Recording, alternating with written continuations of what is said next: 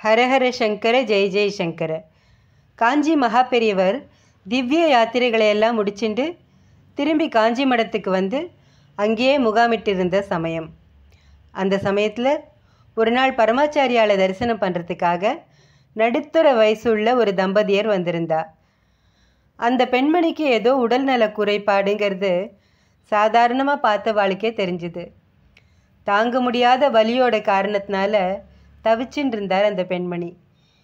இப்போ வெளியில் வரட்டுமா? இல்லை இன்னும் கொஞ்ச நேரம் கழித்து வெளியில் வரட்டுமான்னு கேட்குற மாதிரி அந்த பெண்மணியோட கண்களில் கண்ணீர் முட்டின்று இருந்தது கூட வந்திருந்த அந்த பெண்ணோட கணவர் அந்த பெண்ணுக்கு ஆறுதல் சொல்லிட்டு இருந்தார் மனைவியோட தவிப்பை பார்த்து அவர் ரொம்ப சங்கடப்பட்டார்.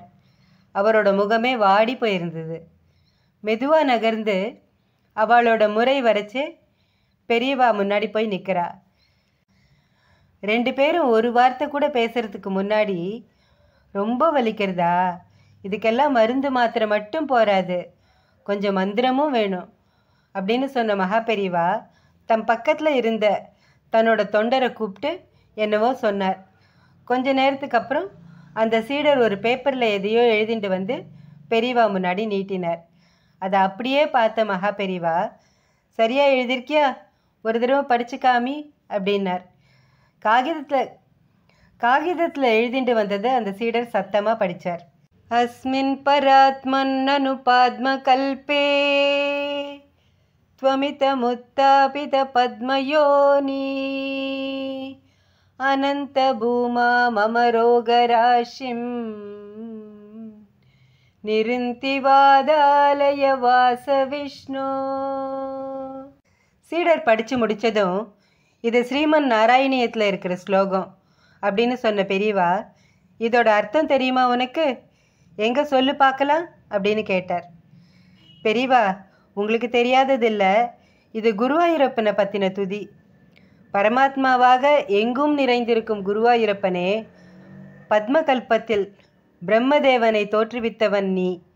அளவற்ற மகிமையுடையவனாகிய நீயே எனது உடல் மனம் சார்ந்த எல்லா பிணிகளையும் நீக்கி ஆரோக்கியம் அளிக்க வேண்டும் அப்படின்னு அர்த்தம். பவ்யமாக சொன்னார் சீடர். ஸ்லோகத்தை நன்னா கேட்டுண்டேளா இதை நூற்றி எட்டு தடவை நம்பிக்கையோடு சொல்லு. நல்லதே நடக்கும்னு சொல்லி ஒரு மாதுளம் பழத்தை கொடுத்து அனுப்பினார். அந்த தம்பதியும் ஆச்சாரியாளுக்கு நமஸ்காரம் பண்ணிட்டு பிரசாதத்தை வாங்கிட்டு போயிட்டா. ஆச்சாரியாலோ அங்கே இருந்த வேற யாரோவோ அந்த பெண்மணிக்கு என்ன உடம்புன்னு கேட்கவே இல்லை. இந்த சம்பவம் நடந்து நாலஞ்சு மாதம் இருக்கும்.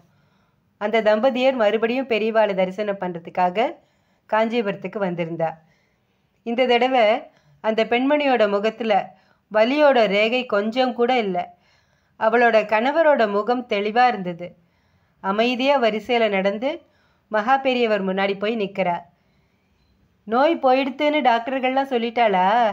இனிமே ஒன்றும் பிரச்சனை இல்லை. க்ஷேமமாக இருங்கோ. ஒன்றும் கேட்காமையே ஆசீர்வாதம் பண்ணினார் மகான். அவ்வளவுதான். கண்ணில் ஆறா குளமாக நீர் வழிய அப்படியே நெடுஞ்சான் கிடையா. அவரோட பாதத்தில் விழுந்தார் அந்த பெண்மணியோட கணவர். தெய்வமே என் மனைவிக்கு மார்பில் புற்றுநோய் இருந்தது. அதை குணப்படுத்துறது கஷ்டம். ஆப்ரேஷன் பண்ணினாலும் ரொம்ப முத்தி போச்சுங்கிறதுனால பலன் இருக்குமான்னு தெரியாதுன்னு டாக்டர்கள் எல்லாரும் கைவிட்டுட்டா. மன அமைதியாவது கிடைக்குமேன்னு தான் போன தடவை இங்கே வந்தோம்.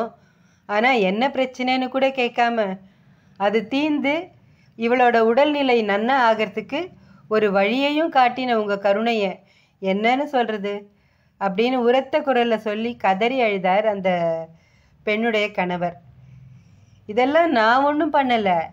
அந்த நாராயண மந்திரத்தை நீங்கள் நம்பிக்கையோடு சொன்னதுக்கு கிடைச்சிருக்கிற பலன். க்ஷேமமாக இருங்கோ. ஒரு குறையும் வராது. புன்னகையோடு சொல்லி ஆசீர்வாதம் பண்ணின ஆச்சாரியா குங்கும பிரசாதத்தை அவாக்கிட்ட கொடுத்தப்போ கூடியிருந்த பக்தர்கள் கூட்டமெல்லாம் மகா பெரியவாளோட மகிமையை புரிஞ்சுண்டு கோரஸாக குரல் எழுப்பினா. ஹரஹர சங்கர ஜெய் ஜெய் சங்கர காஞ்சி சங்கர காமகோட்டி சங்கர. ஹரஹர சங்கர ஜெய் ஜெய் சங்கர காஞ்சி சங்கர காமகோட்டி சங்கர. பெரியவாளுடைய பாதார விந்தங்களை வணங்கி வழிபடுவோம்.